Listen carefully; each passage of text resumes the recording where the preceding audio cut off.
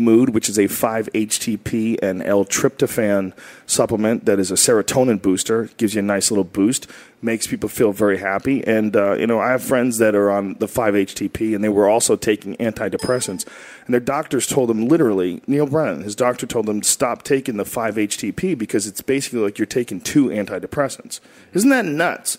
The doctor would tell you, stop taking this nutritional supplement, it's supplement that's available everywhere at fucking GNC, at CVS Pharmacy. It's available everywhere. It's, you can just buy it.